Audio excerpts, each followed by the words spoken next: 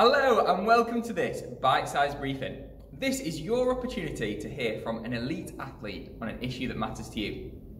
In this video, you will get the chance to hear from professional Jamaican diver Yona Knight Wisdom, and he'll be sharing his experience around getting involved with physical activity with some useful tips and advice for you as well. Looking forward to getting started. Big thank you to Westfield Health for funding this video. Let's start by taking a look at some of Yona's action clips.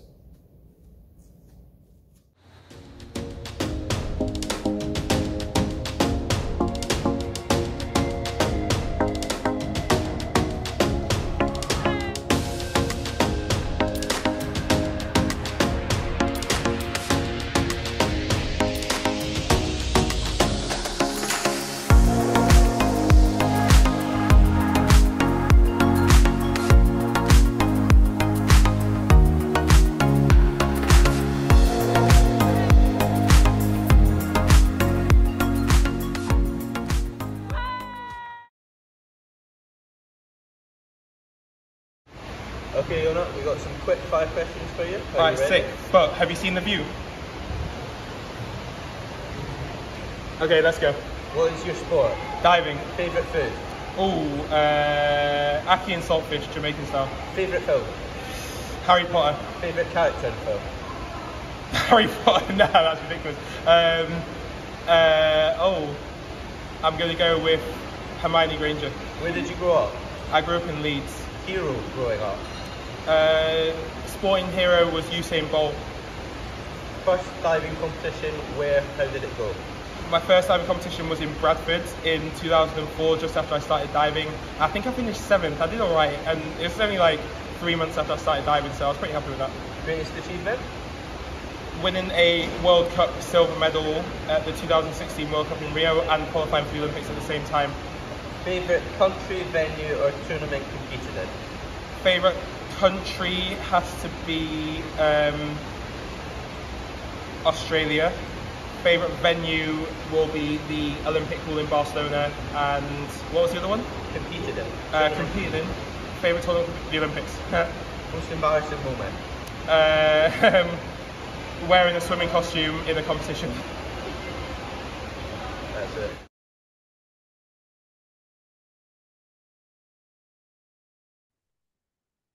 So Yona, brilliant to have you with us. Thanks for joining. How are you doing today? Thank you very much for having me. I'm really good today.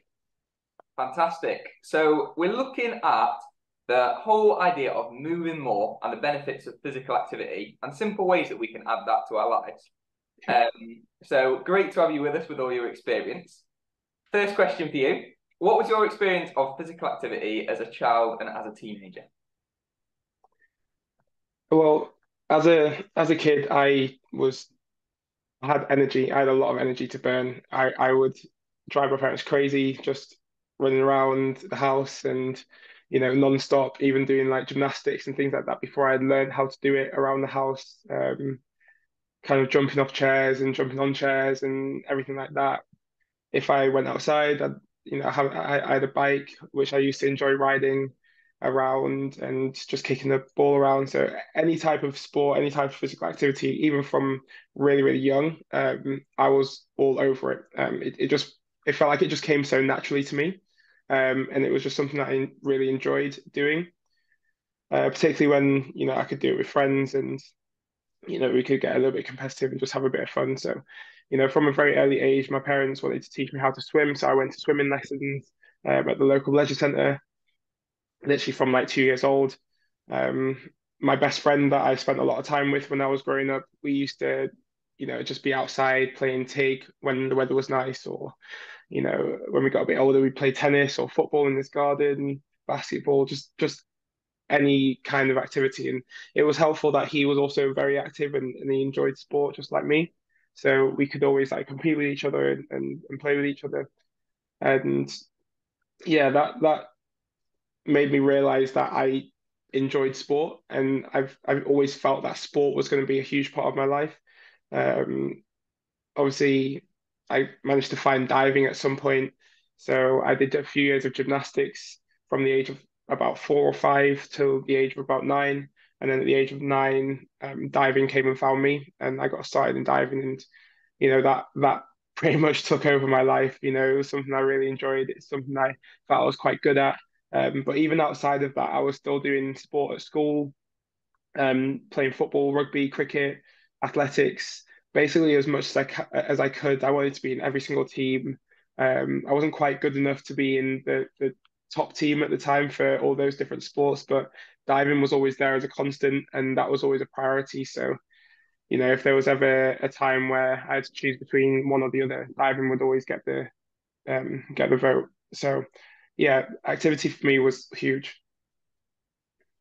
Yeah, that's brilliant. And so, for a lot of people uh, watching, the idea of going to that first session or trying a new sport might be a little bit daunting. What was it like for you, um, the idea of going on to that first diving session, brand new sport, brand new people? Uh, what was your experience of that?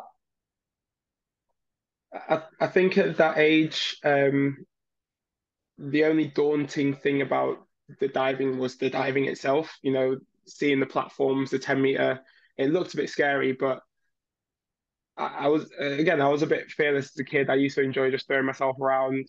Um, and I had already had a good foundation of gymnastics, so my spatial awareness was already quite good. Um, I was comfortable with doing, you know, some easy somersaults. So when I got in the diving pool, I was quite comfortable with spinning around, being in the air. Um, and then, you know, over time, I got the confidence to go higher and higher and, and, you know, eventually jump on 10 meter. But I don't think it took me that long to be able to do that. And even now, I still get the butterflies in my stomach when I do it because, you know, for a human being in general, it's not a normal thing to do. So, yeah, I wouldn't say I was daunted, but, you know, there's always a bit of a challenge of going into a new environment with new people. You got to make new friends. And I've had that in various different situations. I'd say one of the biggest situations I had, which is outside of sport, was actually when I joined a new sixth form. Um, so I, spent a long period of time at one school and then I changed schools for two years um, right at the end. And that was quite daunting because I knew no one at that school. I um, had loads of good friends that I was leaving behind at my old school, but I knew that that was the right thing for me to do to go to that school for those two years. And, you know, I just went to it with an open mind and just tried to be friendly and tried to speak to people. And, you know, I ended up making some good friends there, which was really nice. And, and the same thing kind of happened when I started diving or when I changed a group in diving. You know, you have to get to know new people, you might have to get to know a new coach. Um, when I started being able to travel and go internationally, I started meeting new people. And what I've often realized is that even though if it's even though it feels scary for you going into that new environment, everyone else in there probably feels the same way. Everyone else in there probably feels a bit nervous. So you're not the outlier. And if you could be the one that approaches people and, and you know says hello or you know and just any kind of interaction right from the start, then it becomes so much easier to get comfortable with whoever you're around and everything instantly becomes less daunting. Yeah, really helpful advice there um, for anyone thinking about joining a new sport or going on for that first time. Um, so yeah, thanks for sharing that. What do you enjoy about your sport, and what um, yeah, what benefits do you get from doing it? um, it's a it's a love hate relationship with the sport. Sometimes I, I love I love everything about diving. Mean, for me, the best part of it is the thrill that you get when you're spinning in the air. Um, especially when you know you've got control and you can do the dives well, because it's just an amazing feeling, especially when you get the dive right. It, it's there's nothing that matches it that I've ever experienced in my life so far. Um, I've been fortunate to to be able to travel because obviously I, I, represent Jamaica and I get to compete internationally, and I've been able to go to a number of cool countries and places I never thought I'd see or experience, and um, you know it's been that's been a major major beneficial factor of it. And then the third thing is is the friends and the people that you meet. Diving's a very small community, and there's a very friendly feel to the sport. So you know everyone wants to see everyone do well. There's no, you know, background games or you know mind games that goes on. Everyone's just trying to do their best, but also support other people to do their best as well. So I made some incredible friends over the years in diving. Um, from different countries, different backgrounds, different lifestyles and experiences, and that's one of the best parts about it. But I'd say the main benefit of diving is that I can stay active and I can stay fit every single day doing something that I actually enjoy. And yes, sometimes the conditioning that I have to do is hard and I get a bit sore. And um, I don't know if you've ever heard of delayed onset of muscle soreness, we call it DOMS. That can be quite intense sometimes, especially in preseason at the start of the year when you're getting back to fitness. And yeah, that bit is really hard. But when there's a purpose behind it and when there's something in the future that you're working towards and you know the value of the effort that you're putting in at that time will come later on it's it's manageable you can get through it you can push yourself through that soreness and that pain but you're staying fit and you're staying healthy and you're staying active and everything around that is also healthy you know i eat well i sleep well i um get enough socializing time because I'm out around people where, when I'm training or even when I'm coaching. So it's it, there's just so many overall benefits, and at the end of the day, the bottom line is it's something that I actually enjoy doing, and that makes it ten times easier to get up in the morning and go to training. Or when I'm feeling a little bit rough, you know, I can go to training. I can still do something that's beneficial for me. That's the best bit about diving for me. Yeah, it's brilliant. So so many benefits there that affect your life. Like you found something that you really enjoy. You've made good friends there, and now even though there's a bit of pain with it in terms of the exercise activity, what you're saying about that delayed uh, onset of muscle soreness, um, that those positives seem to outweigh the the benefits for you. Yeah, absolutely. And and you know, there's this classic phrase, "No pain, no gain," right? So I believe that for anything in life, if you want to succeed, if you want to do well, um, you've got to go through a little bit of, of suffering, a little bit of challenge, a little bit of pain. Um, you know, hopefully it's not anything too severe. It can be quite superficial, quite minimal, but I feel like there's got to be some kind of effort put in that that is challenging to take you towards that place of success and that place of enjoyment.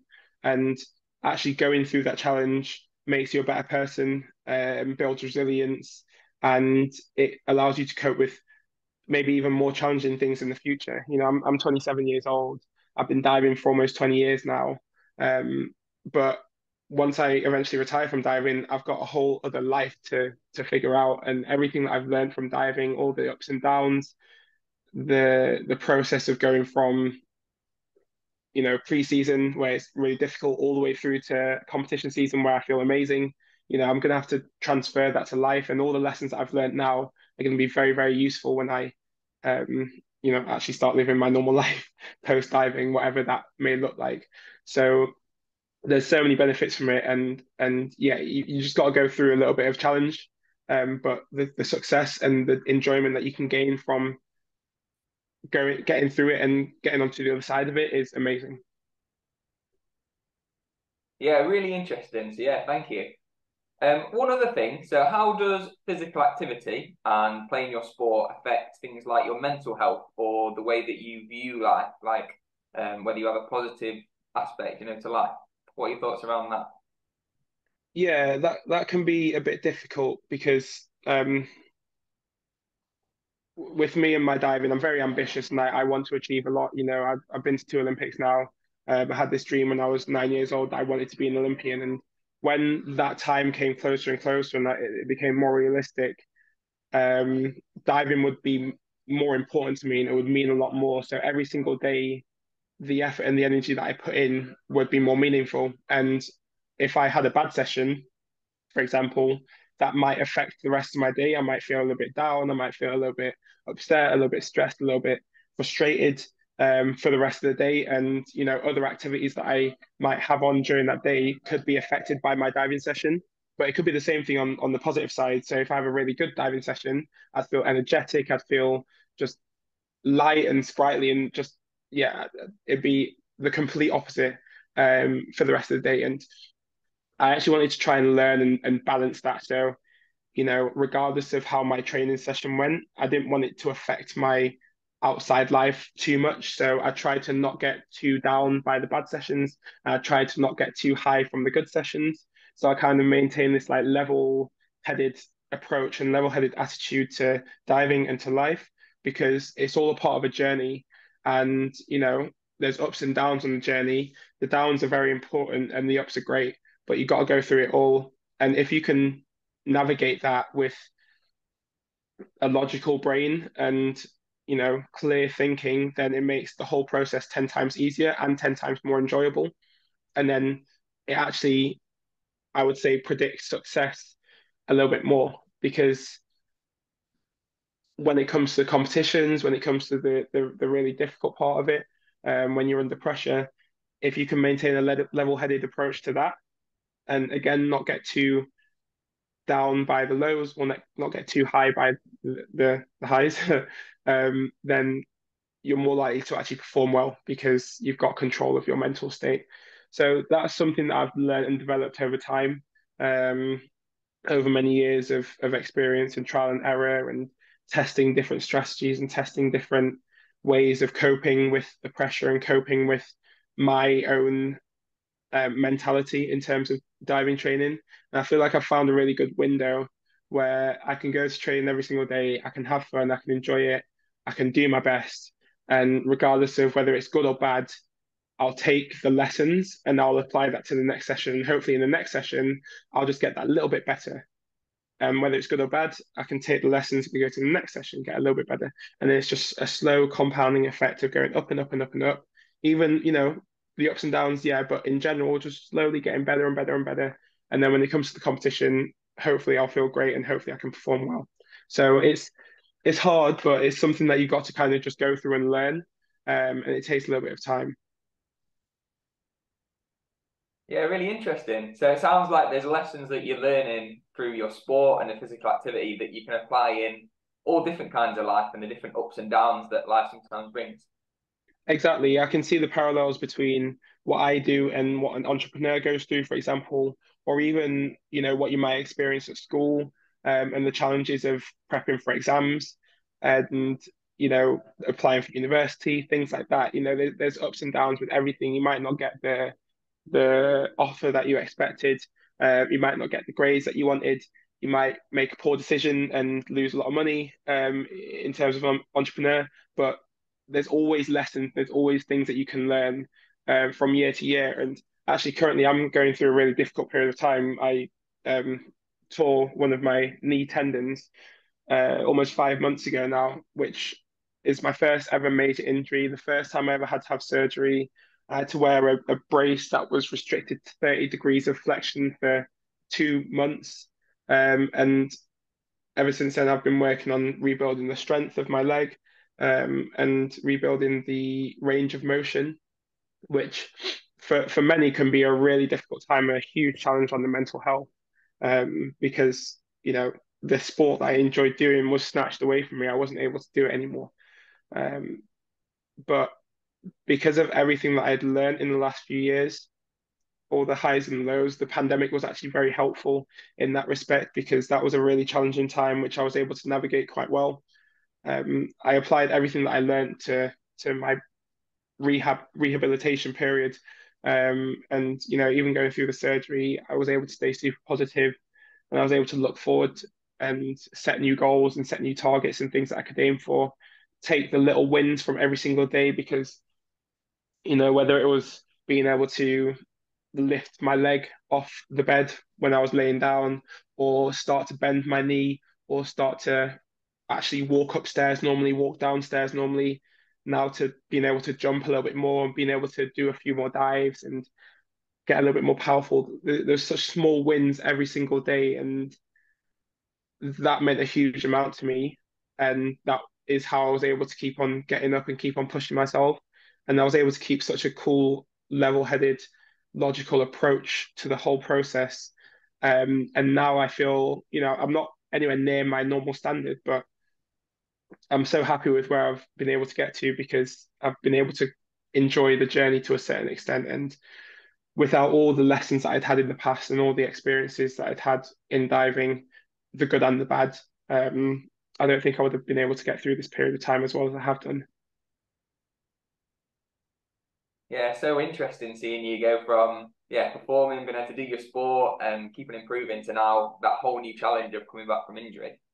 Um, yeah, it's it's really it's really humbling as well because you know, you you can almost take it for granted when you're able to do everything just normally and very comfortably. You forget, you, you I think you lose a bit of perspective. And what that injury gave me immediately was a load of perspective because the first thing that I thought after I injured myself is, what can I do to get back to my normal level as quickly as possible? And that showed me that I still really enjoyed my sport. That showed me I still really loved diving. That showed me I still had the ambition and the drive and the motivation to um, put in the work to get back to a high level, um, even though I knew it was going to be difficult.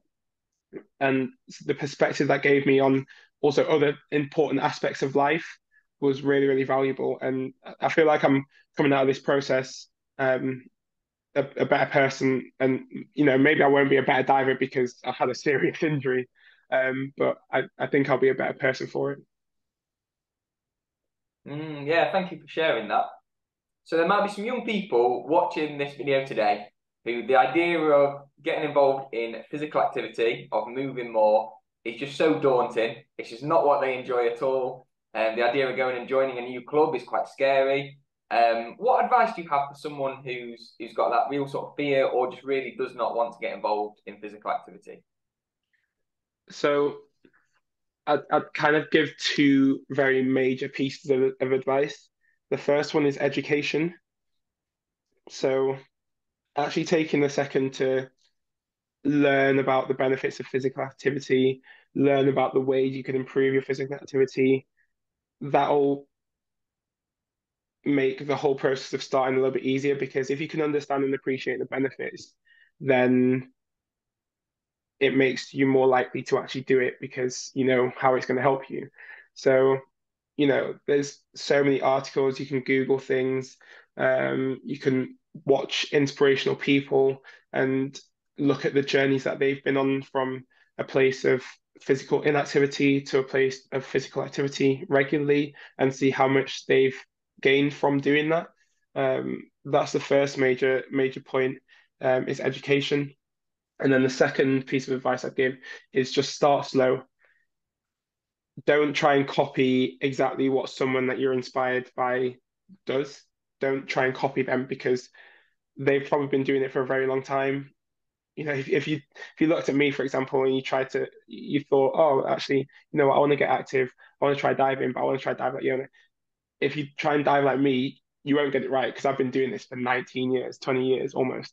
Um, so you have to start slow. You have to start from the bottom, um, and it, it takes a little while, but when you do it right and when you do it progressively, then the benefits will be much more apparent and um, the enjoyment will be much more apparent as well because if you start too quickly or you start with too much then it'll feel really really difficult and you won't want to go back because it's really really hard and you won't feel the benefits straight away you won't feel the the progress straight away and it'll be very frustrating and it'll be hard to just keep on going.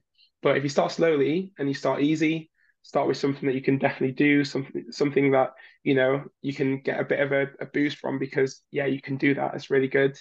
Um, and then progressively you make it a little bit harder and a little bit more challenging and a little bit more difficult, and you maintain that level for a period of time, and it becomes easier, and then you can step up another level, and that progressive improvement, progressive um, uh, progressive load in terms of the, the challenge of the exercise or, or whatever it is that you're doing will feel so much better. And it'll feel so much more enjoyable for sure.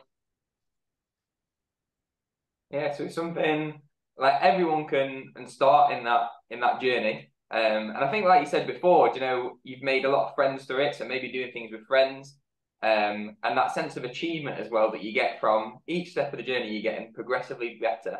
Um, is that a big part of getting involved in, in sport and physical activity? Yeah, 100%. You know, doing things with friends makes it even better as well because, you know, if you're like me, I'm extremely competitive. So if I do anything with my friends, I want to try and beat them straight away. Um, that's my first thought. But if you're not competitive, you know, having people around you doing the same thing as you or, or, or pushing you, or you can push them, is that they understand what you're going through and you can have someone that you relate to. And it just makes the whole process a lot easier because sharing that experience will help you do more and help you push harder. Um, and it also, you know, creates memories and creates fun things. You know, like there there are many stories that I've had over the years that I'll reflect on for years and years and years to come with my friends that I've enjoyed, you know, within diving, whether it's diving related or not, because we've met through diving and because we share that experience and share that knowledge and share that understanding, we can help each other, but also um, when things go wrong or when things feel difficult, you can also laugh about it because there's someone with you that that understands it and, and can help you find the funny side because it's not always going to be perfect. It's not always going to be um, amazing, but you know when it does go wrong or if it's difficult, the best way to get through it is by laughing about it. And the easiest way to laugh about it is if you have someone with you to laugh about it with. Yeah, it's a great way to look at it. Been able to enjoy it, been able to laugh together. Um, yeah, yeah, be able to enjoy that journey. Yeah, in in, in diving, you know, um, if you get it wrong, the water hits you pretty hard, and it can be a bit painful, and and that's just the reality of the sport, unfortunately. But um, my way of dealing with that over the years is is literally just to laugh at myself first, and you know, if someone else wipes out, I'll I'll laugh at them. Um, as long as I see they're okay, I'll I'll I'll laugh, and hopefully that'll boost their spirits a little bit and and help them feel better straight away, rather than just being upset and you know being down or crying about the situation. Um, if you can laugh it off, um, then it makes it so much better. That's a really good way to look at it. And so, last question for you. What about on the other end? You might have some young people here that love being involved with physical activity, with sport, uh, want to progress in their sport and do the best they possibly can. What advice do you have for those young people? Yeah, if if you feel that way about sport in the first instance, then that's amazing. That's that's such a huge benefit straight away. So congratulations for that. Um, my advice for you would be to just push yourself out, outside of your comfort zone.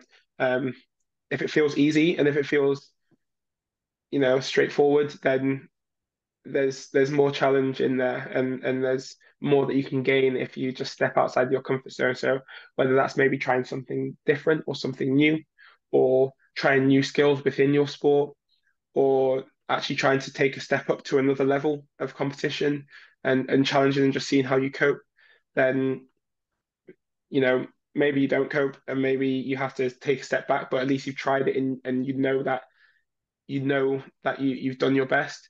Um, or maybe it does go really well and you actually gain more enjoyment out of it because you've done better than you expected. Um, for example, again with my injury, me and my coach sat down uh, a couple of months ago now, and we drew out a timeline of of where I thought I could be at certain dates um, in terms of my recovery and my rehab, and we set what we thought was quite an ambitious and very optimistic timeline. We thought that was going to be the best case scenario in terms of how quickly I could recover and how quickly I could get back to doing certain things um, in the diving pool and outside the diving pool. And we're actually about a month ahead of the schedule that we we set, um, which when we were doing it at the time, there's no way I thought that'd be possible. I thought it'd be the other way around. I thought I'd be a month behind potentially. I thought it was way too ambitious, but because I set my ambition and set the challenge to that high level, now being head of it, it feels amazing. It feels so good. It feels like I've done such good work and it feels like I've really pushed myself. So, um, yeah, if it feels easy, then you need to push yourself harder. You need to, to give more, especially if you enjoy it. Get competitive with yourself and with other people, and and just just keep on going because there's so you, you can do so much more than you really believe you can do so much more than you believe. Well, I think that's a great way to end there with that line about the young people watching here. You can do so much more than you believe. Um, so yeah, thank you so much, Yona, for sharing a little bit of your experience and advice for young people watching today. Um, so thanks for coming with us. You're welcome.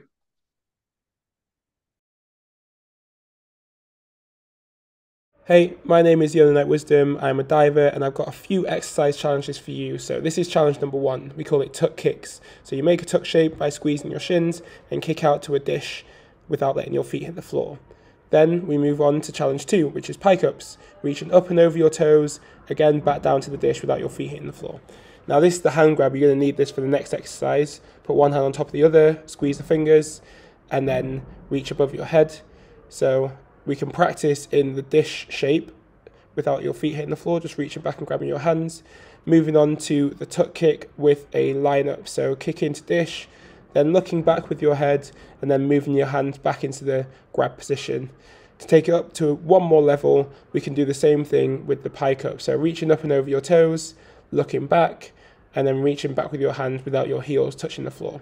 Try five to 10 reps of each exercise and let me know how you get on.